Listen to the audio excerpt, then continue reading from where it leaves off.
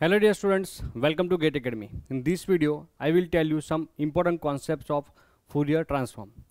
So in previous class, we have seen what is a Fourier transform of sine at by pi t. It is nothing but rectangle function from minus a to a with amplitude 1.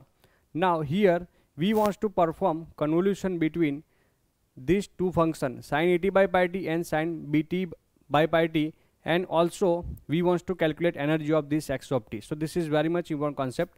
Now we know that Fourier transform of sine at by pi t is nothing but rectangle function from minus a to with amplitude 1.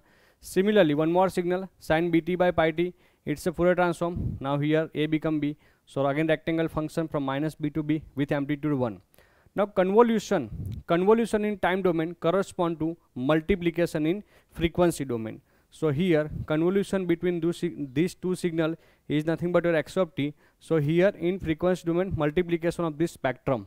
So if you multiply these two spectrum by frequency by frequency then see here a and this b. So again multiplication will be rectangle function but the lower limit and upper limit will be what minimum of a and b of course you can understand this thing basic concept a here b here multiplication will be what again rectangle function only but limit will be minimum of a and b and here minus minimum of a and b guys. Correct?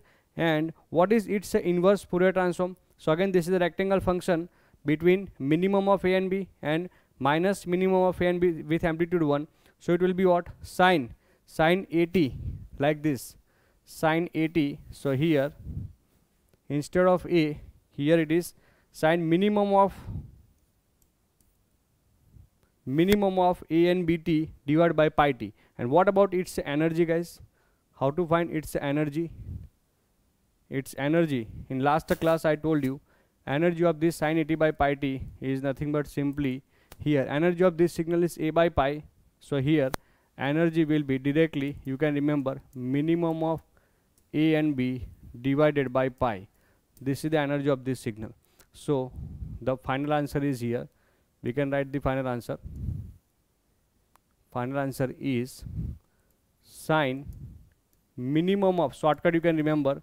So you can save your time in exam. Minimum of a and b. See convolution is what? Sine minimum of a and b into t divided by pi t and its energy is given by simply minimum of a and b divided by pi. Okay?